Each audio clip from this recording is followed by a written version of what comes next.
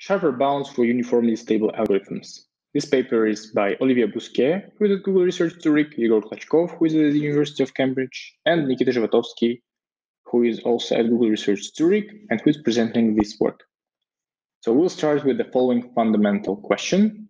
So the first one is when does the learning algorithm generalize? And the second, which we can see as a particular case of the first one, when is the test error close to the empirical error? Because in general, we know how to minimize the empirical error, but of course, it doesn't imply that the test error will be also small. So these two questions uh, form the core of the statistical learning theory in some sense. Let us introduce some history. So, of course, the in order to prove uh, the generalization bounds, uh, there are several approaches. Maybe the first one is the so-called uniform convergence, which was introduced by Vapnik and Chervonenkis. And the second one, which we may uh, always recall, is the stability. So informally, it works as follows. So the algorithm is stable if it has low sensitivity with respect to changes in, say, only one learning example. Uh, surprisingly, this idea can also be attributed to Vapnik and Chervonenkis. So in their 1974 book, they presented uh, the thing that we now know uh, as the hard margin SVM. So assume that I have uh, the linearly separable two groups of points, blue and green. Then I uh, create the or run the so-called hard margin SVM, which creates a separator marked by red, which maximizes the margin between these two groups. As well known there is a small number of these so-called uh, support vectors. And what is a key observation is that if I remove from the sample any object that is not in the support set, so any of these two uh, green or blue points separated from the red line, then the output algorithm doesn't change at all.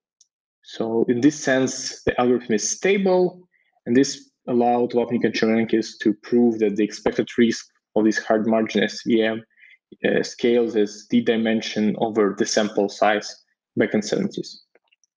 We will use a closely related notion of stability, the so-called uniform stability. Let S define and note our learning sample, AS be a learning algorithm, and L mm, denote our loss function.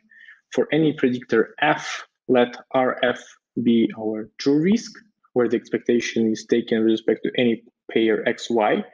And uh, our emp is our empirical error, which is defined as the sum of errors of a given predictor f with respect to uh, the given sample s.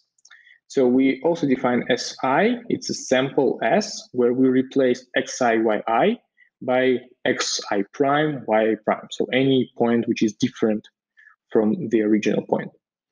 And uh, the notion of uniform stability is the following. We say that the learning algorithm is uniformly stable with parameter gamma. So this gamma may depend on various parameters. For example, it may depend on the sample size.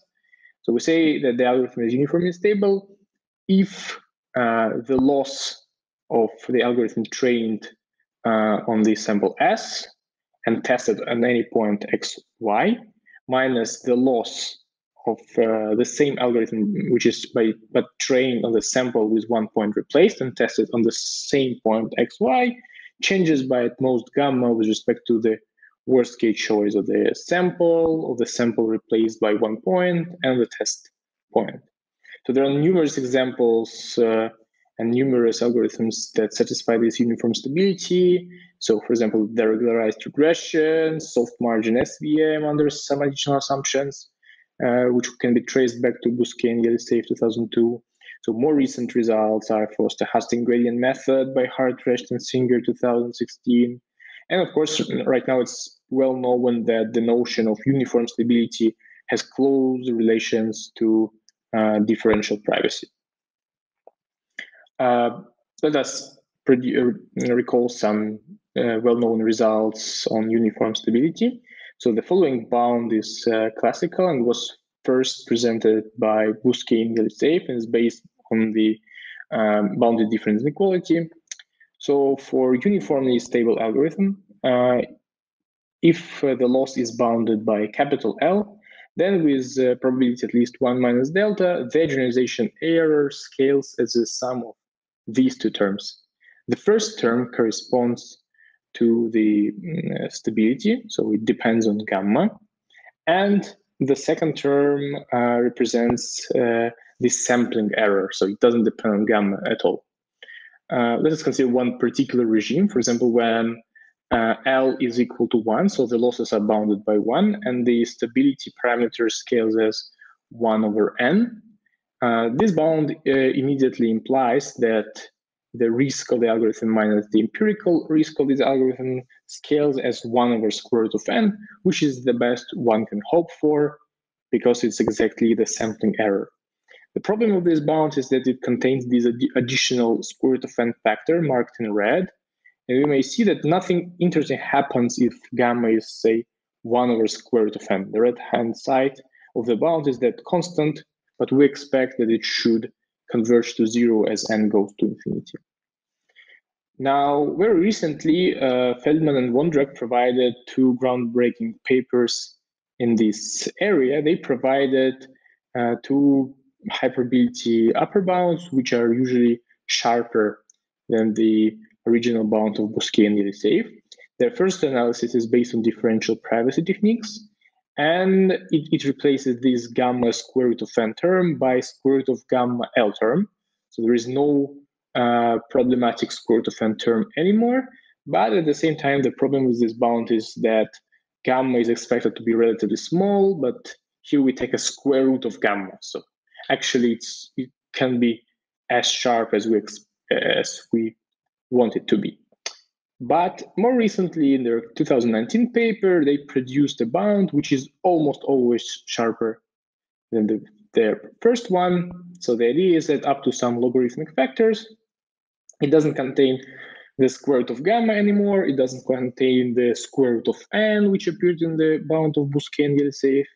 So, but it contains a slightly different uh, dependence on the logarithm on one over delta. So it's, slightly weaker in this, in this sense. So the first bound cannot be omitted for free because there are some regimes where the original bound um, is slightly better. And uh, the authors, Feldman and Vondrak, also asked two natural questions. So are there sharper bounds? And uh, is it possible to provide high probability lower bounds? So we did some uh, advances in this uh, questions. Uh, and uh, the first one is the corollary of our general result.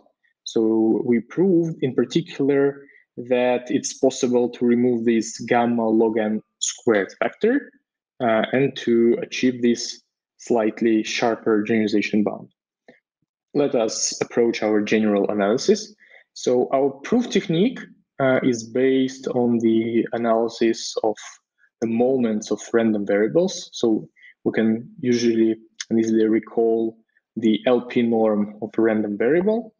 And then uh, the following nice relation holds. So if we can prove for a random variable that its LP moment scales at the sum of the term scaling as square root of p, the so-called sub-Gaussian regime, and p, which is the so-called sub-exponential regime, then with high probability, this random variable uh, is controlled by the square root of log, log 1 over delta term, which corresponds where delta is our confidence, plus uh, the second term, which corresponds to a so-called sub exponential regime log 1 over delta without the square root of. Uh, so um, before we proceed, and these two notions are uh, equivalent. Before we proceed, let us recall uh, the notion of uh, bounded difference. So the we say that the function g has a bounded difference property. Uh, if for any, if by changing one parameter like xi one variable, xi by xi prime, the function changes by at most beta. And our result is the following general concentration inequality. So we prove the following. Assume that Z is a vector of n independent random variables, and assume that we're given n functions. The number of functions is the same as the number of random variables. And uh, these functions satisfy the following three properties. The first one is that if we take the expectation with respect to all except the if random variable, then the uh, given this random variable is bounded by m, capital M with probability one. If we take the expectation with respect to only the if variable, ith variable, then this, this expectation is equal to zero.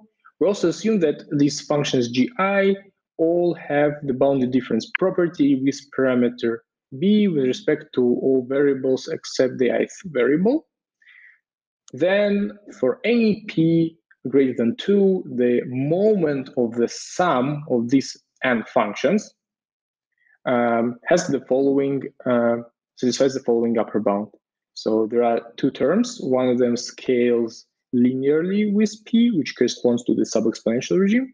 And the second scales as square root of p, which corresponds to the sub-Gaussian regimes. Surprisingly, both generalization bounds are simple corollaries of this result. And moreover, uh, they, as we discussed before, we can get some uh, log factor improvements. So some details of our approach. So our proof uses the sample splitting approach of Feldman and Vondrak, but there are several important differences. The first one is that uh, instead of concentration inequalities, truncations, and Hoeffding inequality, we use moment-based inequalities, in particular Marcinkiewicz-Zygmund inequality. Then uh, there, so the original recursive structure of the proof of Feldman and Vondrak is replaced in our analysis uh, by certain telescopic sums. As a result, our proof is significantly shorter and uh, our result is slightly sharper. So for example, we can win some logarithmic factors. And our general result simultaneously recovers the bound which was shown in their original paper, where the differential privacy techniques. So in some sense, our result recovers both the results and unifies uh, them.